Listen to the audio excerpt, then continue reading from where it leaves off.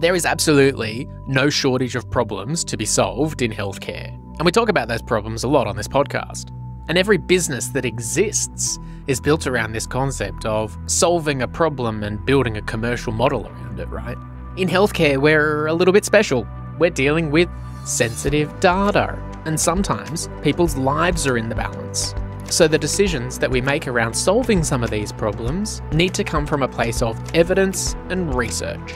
And that's why things take a fair bit of time in healthcare. We need the data, the research, the studies to back up the claim, to prove the thing will work before unleashing it into the wild. Well, this week on the podcast, we're hosting a short series of Talking Health Tech episodes in partnership with the Digital Health CRC. And I speak with the digital health leaders of tomorrow who are expressing their ideas, solutions, and opinions from a basis of evidence. The Digital Health CRC invests in research and development to support the growth of a strong digital health industry, improve patient outcomes and experience, and deliver sustainable digital health solutions. And a core focus for the Digital Health CRC is around education and capacity building to support the next generation of emerging digital health leaders and deliver new and innovative learning opportunities for the sector.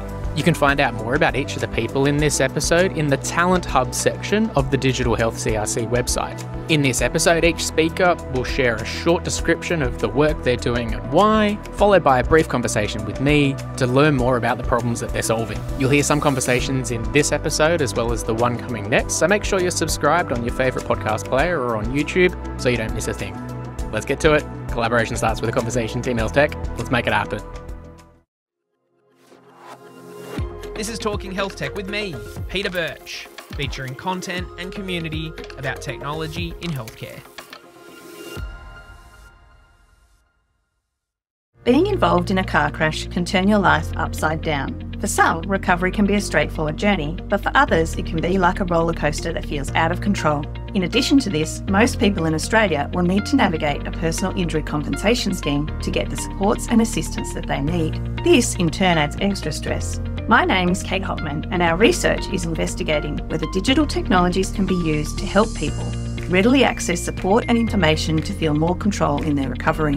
We are specifically looking at whether a digital, human like conversational agent can help people to feel more supported and informed during their recovery. Users interact with the agent, which helps them to self reflect on how they are coping. It provides health and well-being tips, develops self confidence, and emotion regulation skills. The agent also provides information on resources and support. The conversations have been designed in consultation with academics at Macquarie University and people who have a lived experience of injury recovery. Results from our preliminary testing of the program suggest that most people do feel better able to cope with challenges after interacting with our digital agent. We have also received great feedback from users to improve the look and feel of the program. Until we reach Vision Zero, where no one experiences death or serious injury on our roads, this program will be invaluable support to those navigating the rollercoaster journey of injury recovery. Right.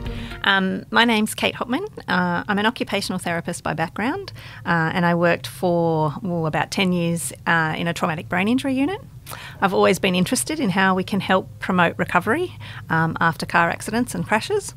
The research is really born out of uh, recognising there's a gap at the moment in how we support people's recovery, and that gap is around helping people with their mental health. So, oftentimes, there's a really big uh, focus on physical injuries at the time of an accident or a crash, um, but the, the physical side is only part of it. Uh, and a big part of recovery is also the mental health and your well-being journey in terms of navigating um, some, sometimes a complex compensation system that you need to get support and services from, uh, and also you know a changed perception of yourself um, in that time. So I think about the incidences of car uh, of mental health after a car crash. How significant are mental health issues after a car crash? Yeah, so some recent research that was done in Queensland looked at the prevalence of mental illness uh, after car accidents and crashes.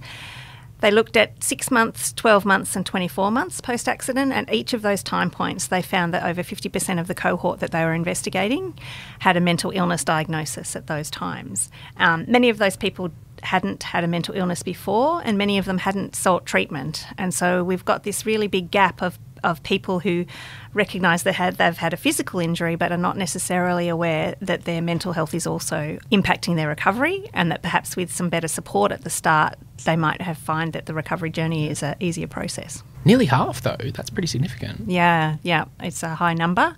But it's understandable when you think about being involved in something that was unpredictable, that can change your life, and particularly if you have ongoing chronic pain, means that you have a lot of adjustment to, to do. Yeah. So I could make some assumptions in terms of what kind of mental health conditions might occur after a car, car crash, but what are we talking about exactly when it comes to mental health conditions after a car crash? Yeah, so often there's actually um, a number of conditions together. So people might have post traumatic stress disorder, particularly if their accident was quite severe. That they also might have depression and anxiety, and often it's a combination of all three, uh, relating to um, recovery not happening as quickly as they had hoped, or also perhaps um, them not making physical gains as quickly as they had hoped.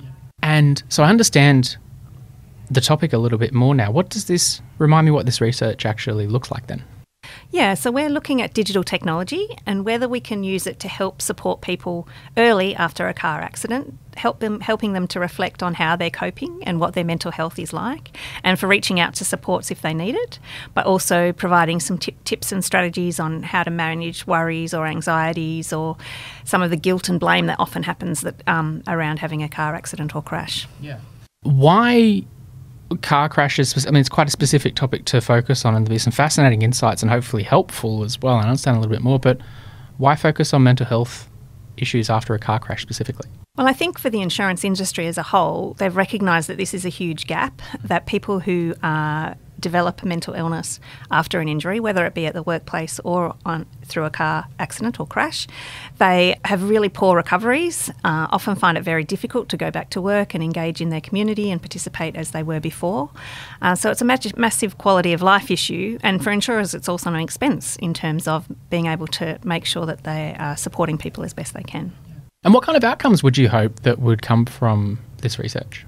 Well, what we're hoping is that people start to recognise the need to look at their mental health as well, and that a, if they're struggling to be able to reach out because insurers can fund services and supports for people. So, um, identifying early to their claims manager, actually, yes, I would like some support in this space.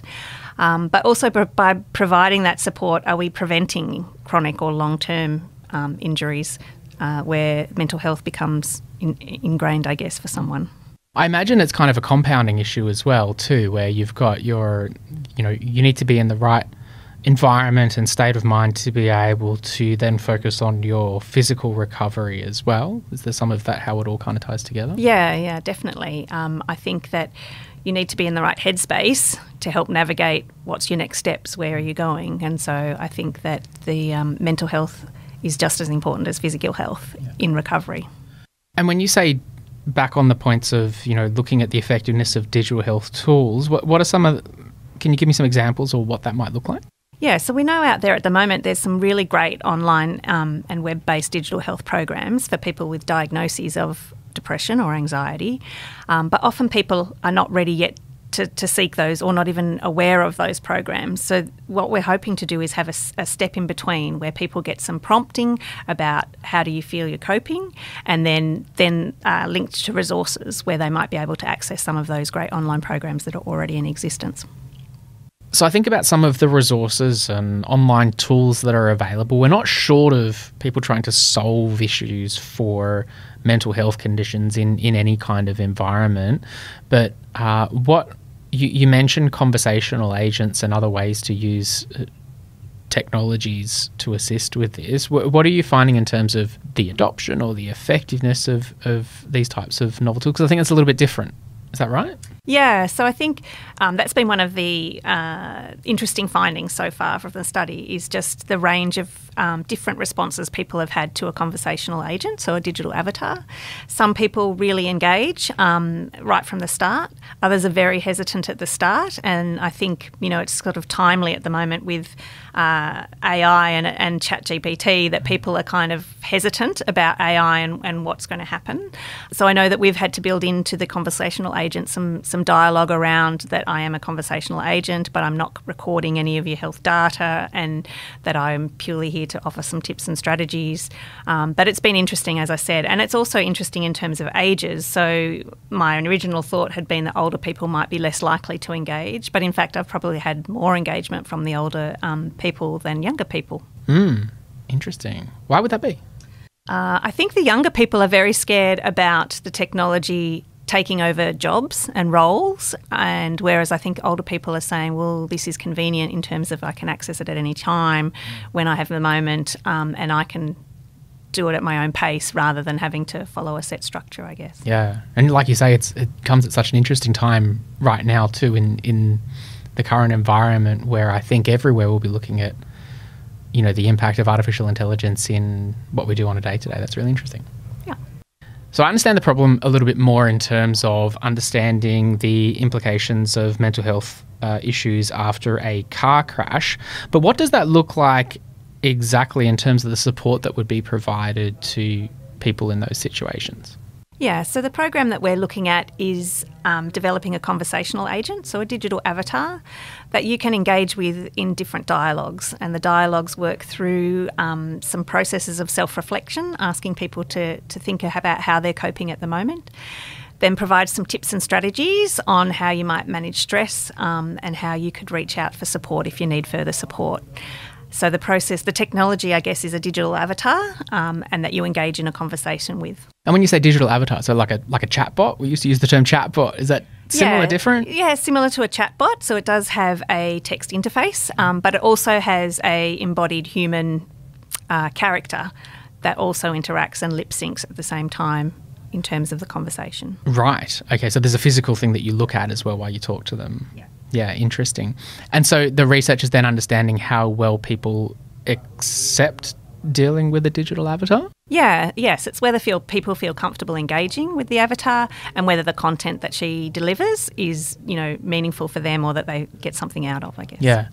I've had conversations previously with people about digital avatars and whether you try and create like a full blown human experience or whether you try and lean more into the fact that it is an avatar, so it could be a little bit animated or quirky or different. Is this kind of direction you look at in terms of what the thing looks and feels like, or is that an element of what you're exploring? Yeah, so it is an element that we're exploring, and it's really tricky because everybody's different. So we have lots of people who've interacted with the the avatar saying she looks too robotic, she needs to be more human. But then we've had others on the other end of the spectrum saying, oh, she's a bit creepy. We really would like her to be more cartoon like because then we'd feel, you know, that she, not as, you know, recognise that she's a robot rather than a human. Yeah, interesting. And is there differences in terms of demographics as well of the people that are using it? It tends to be more around the people who are familiar with technology.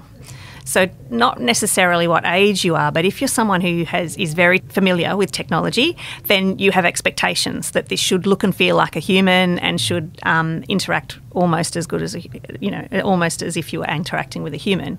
But then people who are less familiar with technology tend to not not worry about it being so lifelike and actually are more interested in, in feeling like that it, it um, doesn't make them feel uneasy interacting with it.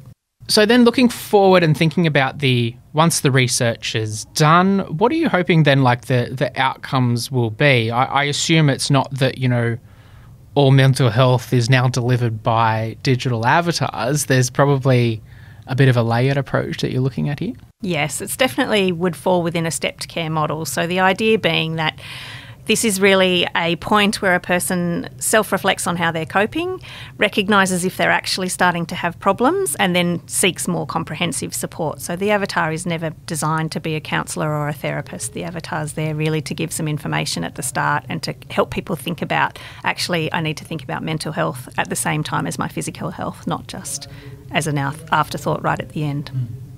Hi, my name is Nicholas Marlow. When my grandmother was 101 years old, she fell over going to the bathroom and broke her hip. And although this injury wasn't fatal, what if she never fell? I'm part of a project developing software capable of forecasting the occurrence of patient falls, as well as medication errors and patient related violence. In this project, I will work with nurses to co design user interface to clearly show the results of this software.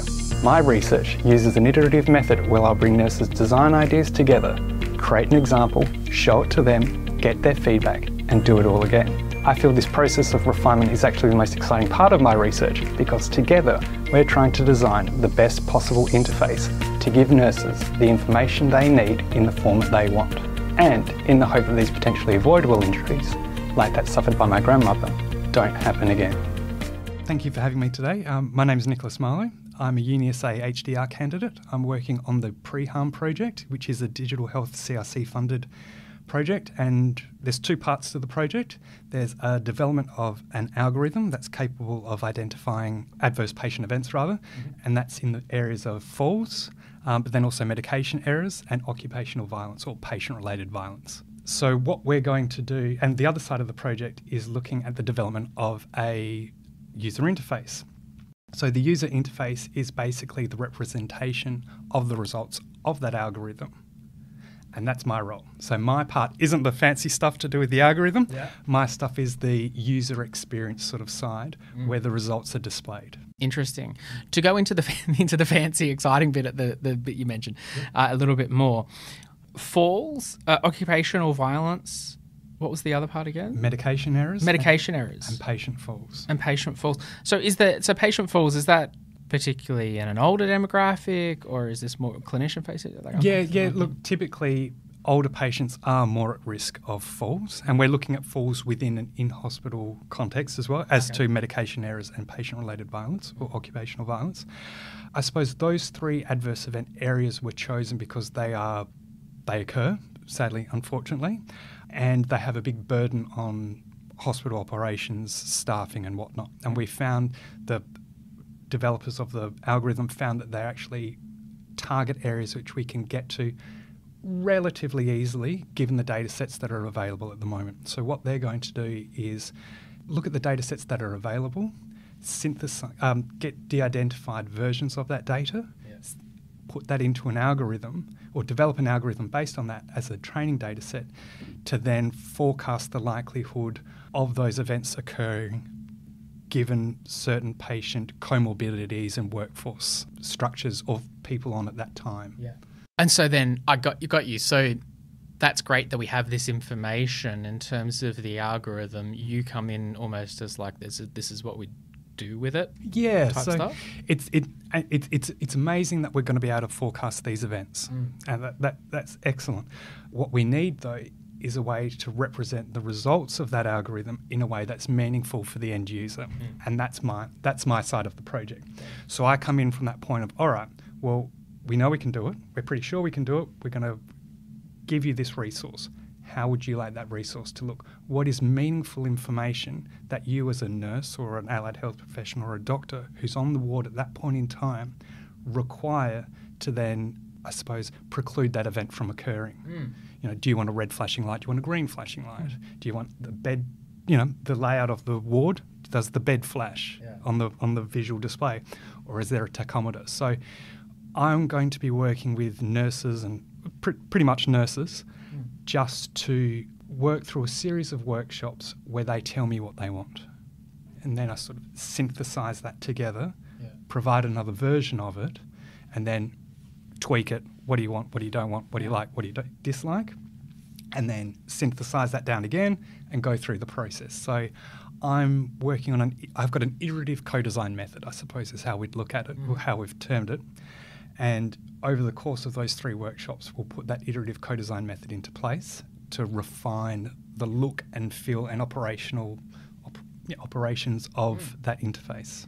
It's interesting that whole bit of asking clinicians nurses in your mm. case what they want is something that a lot of technology providers just don't do. Mm. you know, and, and it can you can get so caught up in, hey, you know, for, I would imagine from you know the side of creating this algorithm to be able to say, think about all the things we could do with this, and you'd go off and you could potentially raise a lot of capital and build a solution that that looks really cool based on what someone thought down here about what you could do with it, yeah. and it finally gets out into the wild, and then someone goes, "Well, it would be nice if like." Like, well, I do this. Well, I wanted the red one. Yeah, right. Yeah, so, yeah, hundred percent. Yeah. And I suppose that's what's drawn me to this project is, is that we are placing an emphasis on the requirements of the end user.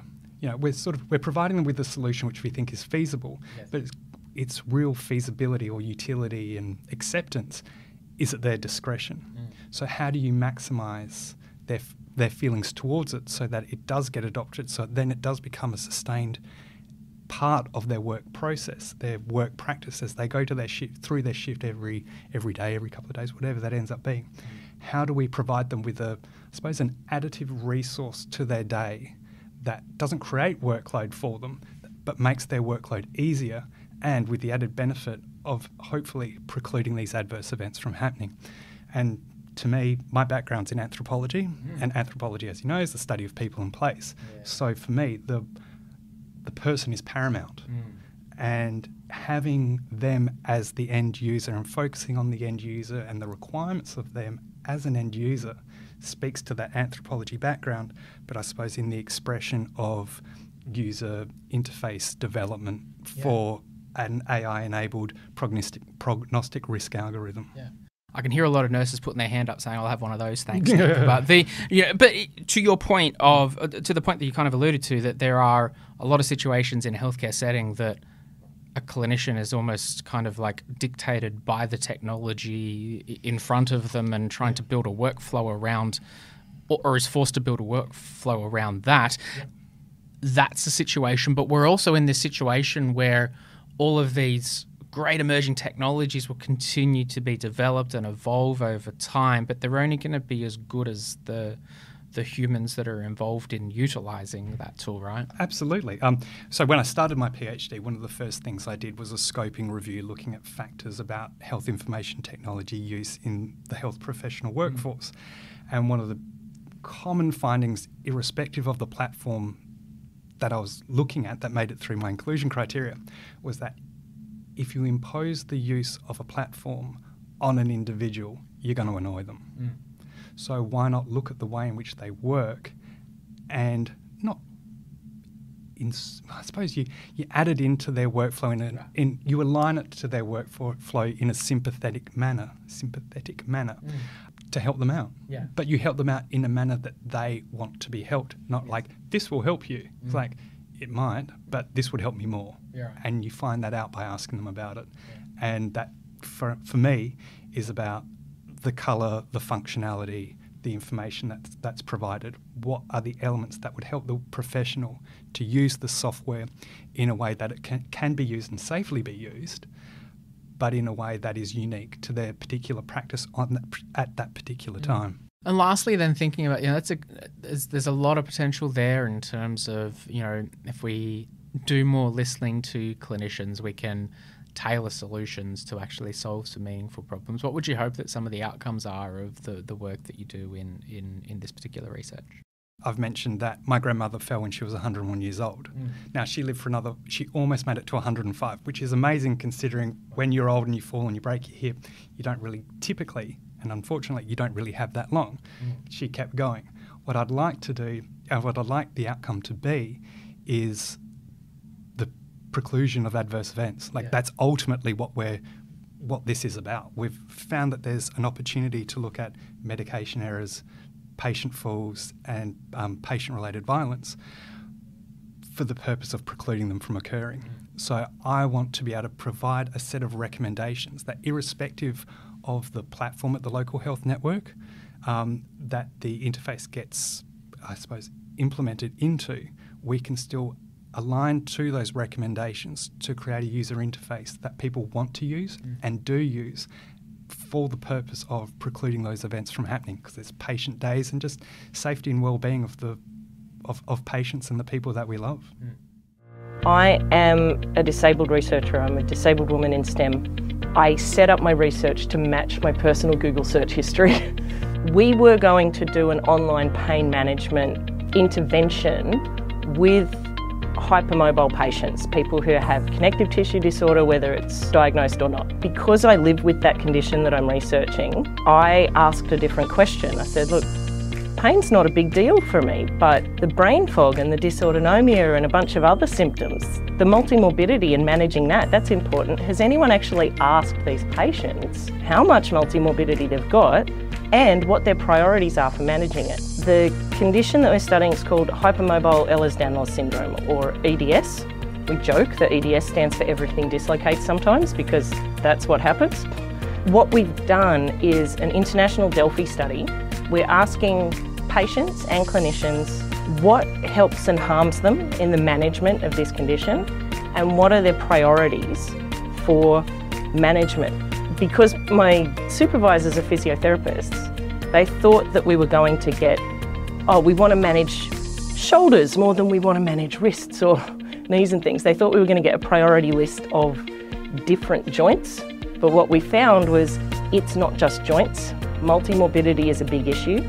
Getting a diagnosis at all is a big issue, and getting connections with clinicians and teams that will actually listen and believe the patients and connect the dots between the, the multiple issues is the biggest concern for clinicians and patients. My background as a data nerd and as a patient, I would want to see that we actually have patient centred data and that we not only listen to patients in clinical context, but we're listening to them in the research teams. We're listening to them in the data that we're collecting, how we're analysing it, and what we're doing with it. As we're digitising healthcare, we have some incredible opportunity to tackle multimorbidity and the patients that traditionally slip through the cracks in a single disease siloed system. The health system at the moment and the way that the research is conducted and funded is focused on single diseases and single body systems. But as we've seen with the pandemic, multi-systemic influence of inflammation, it wreaked havoc partly because our systems are not set up to deal with something that attacks more organs at the same time than just one, that has more symptoms in more different body systems at the same time than just one. Now, the pandemic happened at the same time as my PhD, and it shone a light on how quickly we can turn on telehealth for people who are mobility limited when we have the will and the public health orders to do so. But there were people who were mobility limited and needed telehealth for decades before that, and they've been lobbying, and that was why we could turn that on straight away. With our research data and our policies, we are listening to experts, what we call experts, but there's nobody who's a greater expert than the people that are living with the conditions every day, especially when we have multi systemic effects and the experts are experts in very narrow niches of specialty, whether that's medical specialty or data specialty. So I would want to see more patients in the labs as participants in the research, the research design and analysis, not just as a subject. I am Jade Barclay. I am finishing up my PhD in medicine, but my background was actually data science, public health, and ghostwriting, of all things, back in the day.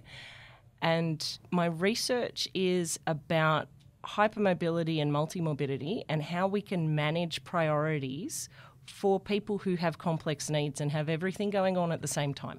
Got it. Okay. Well, t- tell us a bit more about about that in terms of everything going on at the same time. I live with a bunch of conditions, but the underlying one is called hypermobile Ehlers-Danlos syndrome, or EDS. Right? Um, we joke and say EDS is everything d- dislocates sometimes, uh, but it's a genetic condition. It's very difficult to get a diagnosis. Less than five percent of people living with the condition are diagnosed with it. And a lot of times, you usually don't get just one diagnosis. You end up with a handful of them there's a very strong overlap with um, autonomic dysfunction, so orthostatic hypotension, with mast cell activation syndrome, so where your inflammatory response is really cool but a little bit overzealous and doesn't know when to stop mm. and it doesn't stick to just one like if I get a cat scratch every single pain I've ever had in my life will flare up like an old soldier on the sea yeah. soldier sailor like an old pirate. I can feel the storms coming, right? But that's just because the inflammation system has gone rogue and gone overzealous and not just sent the troops to deal with the cat scratch. It sends them everywhere, right? I've also had, during my PhD, I've had two spinal fluid leaks. And I now have the right people on speed dial so I can get that fixed up in a week or two. But that wasn't identified either. And the thing that all of these conditions have in common is they are multi systemic. They affect all of the body systems, they affect all of the organs. The inflammatory receptors are on the stuff that wraps around every single nerve and that encases every organ and that's part of all of your skin and all of your blood vessels. So that goes everywhere. And our health system and our research system isn't set up for things that affect everything at once, mm. right? And even when you say, on one hand, you know, once you've got everything happening at once, how do you deal with that? But right up the front, you said only 5% living, 5% of people living with the condition actually get diagnosed in the first place. Yeah, and diagnosis is like a velvet rope that gets you access to care, it gets you access to services. And for conditions that not in the top 10 that are not the norm, it gets you access to people who actually know how to deal with these conditions. And one of the big problems that we found, particularly because uh, chronic pain is a constant thing, if you're dislocating once, it hurts. If you're dislocating a half dozen times a day, it still hurts right? But there's a lot of myths and mix, misconceptions and things around, well, that condition doesn't hurt. And it's like, well, let me dislocate your shoulder a few times in the next hour and tell me it doesn't hurt. Mm-hmm. But our pain management guidelines don't take multimorbidity into account because the way that clinical guidelines are written, it's based on the best available research. And the best available research is based on clinical trials. And clinical trials are based on excluding complex cases, mm. right? Excluding cases who are taking more than one medication, excluding cases who have multiple diagnoses, excluding cases who have had surgery in the last 12 months. I know a lot of people living with this condition that are also researching it in genetics and data science and molecular biology and uh, public health and everything. We've all had surgery in the last 12 months, or at, la- or at least during our candidature. We'd be excluded from those uh, things based on the number of conditions we've got and based on our recent uh, surgery and injury history. Yeah.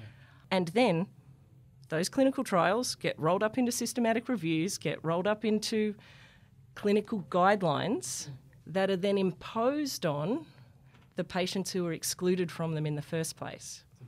And it doesn't work. Mm. We need to have the people who have multimorbidity include either included in the research that informs the guidelines or have clinical management guidelines that take that multimorbidity into account.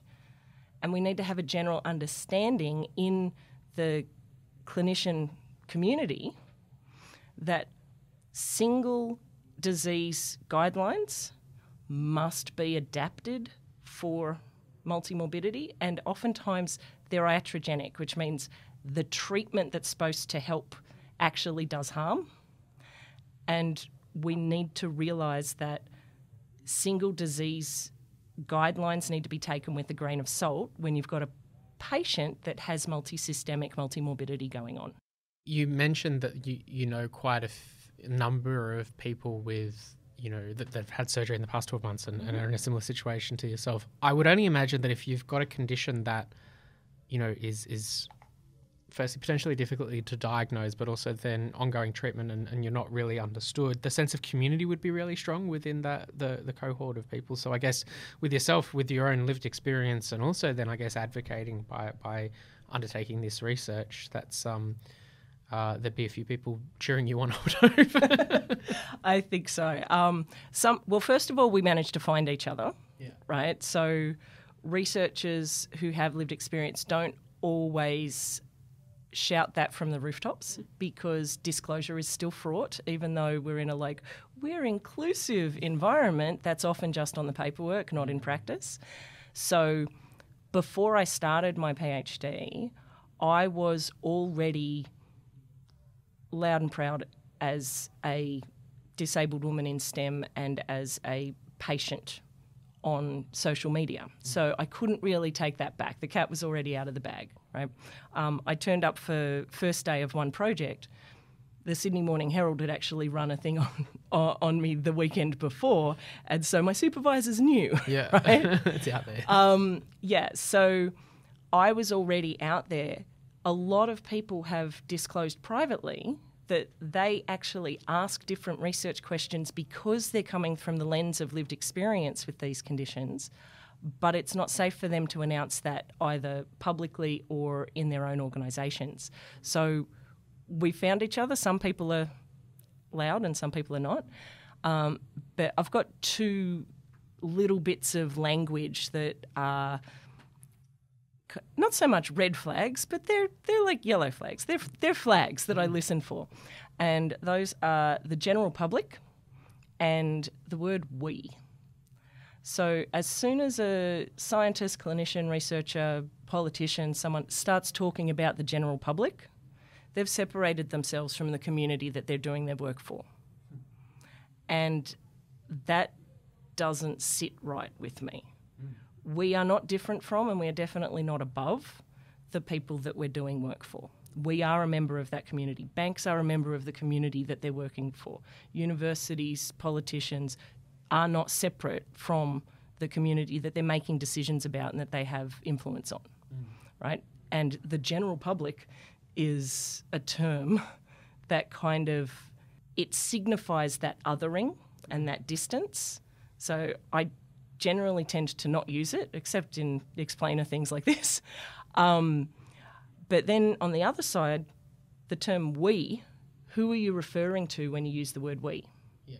Right? And I know that when I say we, I am multiples, right? Have multiple, I, I don't just have multiple conditions, and I am a member of each of the community of each of the conditions that I live with. But when I say we, I think of patients, I think of researchers, I think of students, I think of parents, though I am we in that. And I think it's really helpful to reflect on who are you talking about when you say we. When you say that too, you know, whilst it's a we're talking about a choice of words and language and some might say, well, you know what I mean, but when you're in a position of, you know, winning trust or or um, explaining your situation, words are kind of all you've got, really. So being able to to do that in a way that's mm, I don't know if the word is inclusive or, or at least um, understood in the right context is, is probably really important. Yeah. To bring things back to the research for a second, in terms of what that actually looks like, you know, I understand a lot more about the context and the why, but w- what's actually going on in the research that you're doing? We've done an international study asking patients and clinicians what matters most to them. So, mm-hmm. patients and clinicians who are living with or working with uh, hypermobile, hypermobility or hypermobile EDS. And we ended up getting 900% of the number of people that we were aiming for in the first 24 hours. Oh, wow. uh, it was actually in the first few hours, but we were going globally, so we mm-hmm. wanted to have all time zones included. And partly that's because we were reaching out to the patient community that I am a member of. Mm. And we, we were reaching out to the clinician community that my supervisors were a member of. So we were known and it was very popular. So we ended up having, uh, we did a very big survey and I apologise to my patients. I'm still, I'm still apologetic. It drained me as well, but we got a lot of incredibly valuable inf- information. Uh, but we did a survey and we did interviews. We did interviews with 70 of the patients and clinicians around the world about what helps and harms in terms of management and what are their management priorities for managing hypermobility and for general health management and see how they differ. What would you hope then that that research is applied to once it's all done and the work is the work's never done obviously but the at this stage you know where would you like it to go and and, and what happens with it? My uh, opportunities for future research studies section could be a whole thesis on its own. Yes. uh, zooming out one i want more patient inclusion. Uh, not just who we're including in our participant samples, but the full spectrum from research and policy design to how we're interpreting and analysing uh, our work mm. to bringing that work into clinical guidelines. And there's a brilliant program in the States. So I've been helping with the statistics on other EDS research around the country, uh, not just around the country, but around the world. Something didn't exist when I started that does now is uh, national electronic health record databases where uh, locally and uh, overseas, we aren't limited to the trial data anymore. Having real people and real face to face clinical data, we're starting to see that the estimated prevalence level of this is actually about 12 times lower. The estimates are 12 times lower than they are in the actual in the actual electronic health records. Right? So uh, the electronic health records are showing that's one in 300 people getting a diagnosis. And in public health uh, prevalence studies, have found that one in three females after adolescence are living with this condition that is not recognised by most by most clinicians, right? So, um, I would like to see more patient inclusion. Um, in the states, they also have an internship where having the condition is a requirement for uh, interning in the lab, and they've had up to five different people with living with the condition as co-authors on their papers, and they've had the uh, biggest genetics breakthroughs, and uh, on the other side of the planet. Um, breakthroughs in understanding the mechanisms of like why are we a little bit bendier and stretchier and floppier than everyone else like it's and it's not just joints it's the it's the skin it's the blood vessels mm. it's the nerves it's the ligaments it's everything is a little bit more stretchy and prone to prolapse and rupture like everything um, and yeah we've got some brilliant understandings into the mechanisms of why that difference is there and what the severity of the difference is that wasn't possible before patients with lived experience were also the scientists conducting the research. Mm. So that's my main thing. I would also want to see the whole field approach multimorbidity differently, right? Our health systems, public health and data systems were set up in silos. We, we were set up we were set up for body count, right? Mm. Go back in public health to John Snow and, and Florence Nightingale and the originators of data visualization and all of that glorious nerdy stuff, they were counting dead bodies and counting infections and seeing how many were happening. And then our medical systems were set up to avoid death in the next five days, whether that's from illness or injury. And we're really good at that. Mm. But that's usually a single cause and a single disease or a single injury, right? over 80% of people die from multimorbidity now.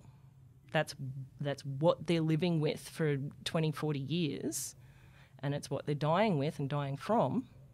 We don't have multimorbidity in our clinical research. We don't have it in our research literature. We don't have it in our guidelines that are informing our clinicians.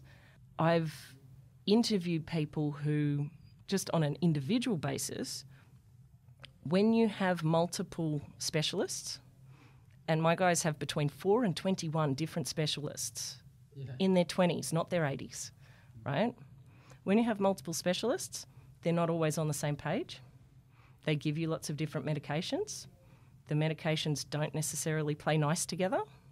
And some people get brain injuries from medication interactions in their 20s and 30s, again, not their 80s and 90s, right? So, yeah, when like over 80% of people are living and dying with multimorbidity, but less than 1% of our uh, research literature actually takes multimorbidity into account. And when it does, it's only considering the elderly. It's time for a massive paradigm shift for that.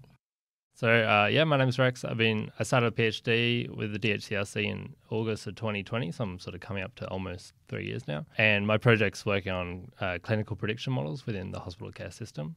So mainly about trying to predict uh, which patients will fall during their hospital admission, mm-hmm. and um, sort of hopefully turning that into a decision support system down the track. Cool. So pre- preventing falls. So uh, obviously a well, a common issue within a hospital setting that I imagine could be avoided if you knew about it happening before it happened. Yeah, for sure. So, um, yeah, we don't want people falling over. When they do, they seem to go downhill pretty quick. And there's some interventions that work to try to prevent falls. So, yeah, trying to like target those interventions to people that highest risk of falls can, yeah, try to reduce that health burden. And as a clinical decision support tool, what, what does that thing look like? Yeah, yeah. So, a decision support tool is really like a system which integrates um, input patient data um, it sort of creates some risk assessment or estimate of the likelihood that that person will fall. It may like guide a treatment strategy, like uh, this person's high risk, they should receive some uh, some intervention to reduce that um, event. But otherwise, it, it, it can be all sorts. You know, like some decision support tools can just give like a um, estimated risk of falls to the end user, say the clinician or the, the nurse looking after the patient, then they can make a decision what to do about that. Yeah. And so you mentioned you're three years in at the moment. Yeah, just about. Yeah, yeah, yeah. yeah. And so, so where are you at with the whole thing? Have you got, have you got something built? Is it still at that kind of discovering stage? Yeah, so um, we we sort of spent a bit of time trying to get data and like sorting it out before um, working on the actual models. So I'm working on that at the moment, but in the time beforehand, I sort of did like a review of the literature, the existing models that are out there, um, and all the things that they you know could have done better, mm-hmm. um, and that I will do. And then I also did some simulation work where I was trying to optimize a like sort of hypothetical decision support system to provide the highest value care yeah. to a patient. Got you. And we are speaking before about this this concept of t- tying it to notions of value based care. Tell me a little bit more about what you're thinking there. Yeah, for sure. So, um, value based care sounds like a really good thing um, because you know everyone wants high value care, um, especially when uh, the government is say paying and they want to optimize to you know um, get the most bang for their buck in terms of um, taxpayers' money in, you know, through the through the system and um, help benefit out mm-hmm. to the Australians. Yeah, I mean, if you have two treatments that are um, say equivalent, but one costs more, then of course you'd pick the cheaper one as a healthcare payer. So um, really, we try to do the same thing with um, selecting what treatments to offer a society. Yeah, yeah, no, no, that makes sense. And I think about the research that you're doing. Then, what are you hoping then? Happens with it in terms of the outcomes and the um, the, the, the what's next with the, the work that you're doing? I sort of did this bit about value based care in in two parts. There's one where I was uh, offering like a new method to select a um, patient of a certain risk to receive a treatment or not. And that's sort of like a new cut point method for clinical prediction models. And that's now like published and people could use that method. And in some situations, there's like a huge difference in the amount of like value based care you would get out of a decision support system when using that compared to conventional methods. Because conventional methods really optimize like metrics that have nothing to do with the treatment being given or like the event trying to be predicted. Mm-hmm. Like, and it makes a really big difference when the cost of, say, missing the diagnosis or, you know, uh, missing a uh, event is very different from accidentally giving a positive uh, risk assessment when they haven't got it. You know, like if you if you miss a cancer diagnosis and they deteriorate really fast mm. without you going in treatment to prevent that, mm. then that's really bad. But like if you falsely predict that someone's got cancer sure. and they don't, then they might just do like a follow up assessment or like another maybe cheaper thing, mm. and then you find out that they don't. It's fine. Yeah. Well, it's not like a huge um, huge cost compared to missing it. Yeah. So uh, when those when those uh, are hugely unbalanced, it's really good to optimize um, based on that wider context. Yeah, that makes sense. And so then I think about you know the the what happens next and how this actually gets in the hands of the users. So who are these users and how would how would you like to see them get access to what you're creating? Yeah, for sure. So um, the end users could be like anyone working with clinical prediction models or like say implementing them within a decision support system. Mm. And um, I think that the these tools should be like as accessible as possible because like if you release this like new new method in some you know really math heavy paper without any like sensible implementation, then it's like okay, you look smart in the paper, and some people might cite you, but like if no one uses it, then like why did you do the work anyway? Mm. So um, yeah, part of my work has been like trying to make that uh, accessible through like a software package, and they can just really easily um, use it for themselves. Yeah, it sounds like a good commercial opportunity, though. yeah, yeah. How do you find that balance of like you know getting it in the hands of as many people as possible, but the thing's got to get funded to get created, right? So, Right. Yeah. Yeah, I mean, I think a lot of this this software can be like pretty easily accessible. Um, like it doesn't take that much cost to to make it. Um, if I if I wanted to make something that could easily like um, be generalized and you know make bespoke tools for people and like front ends and you know really uh, sexy implementations, and I'd probably want to charge for that. But um, while it's just sort of like a method that people can integrate into their existing workflow and create better, you know, um, outcomes for patients. I, I'm happy to make that as accessible as possible for sure, open source. Yeah, I, I made some software like from an honors project in 2017. And um, my supervisor at the time was like, "Oh, can we charge people for this?" and I was like, uh, "I think maybe just having like a really well used uh, tool would be more beneficial to me in my career than um, trying to make a few bucks out of Yeah. Researchers." There's something in that whole point though of of delivering value up front and the rest kind of does follow after that too. So there's there's a fair bit of logic in that as well. And we're in healthcare. If you're in healthcare for those reasons, you're probably in it for the right reasons as well. So Yeah. makes a lot of sense. Yeah, I'm I'm pretty sure like uh, the payout had been better for me this way. Definitely with that because like it was a method that sort of got quite popular, and then I'm sure that helped me get like the jobs that I got after, and you know it's helping me now for sure. Yeah. For more content and community about technology and healthcare, visit talkinghealthtech.com.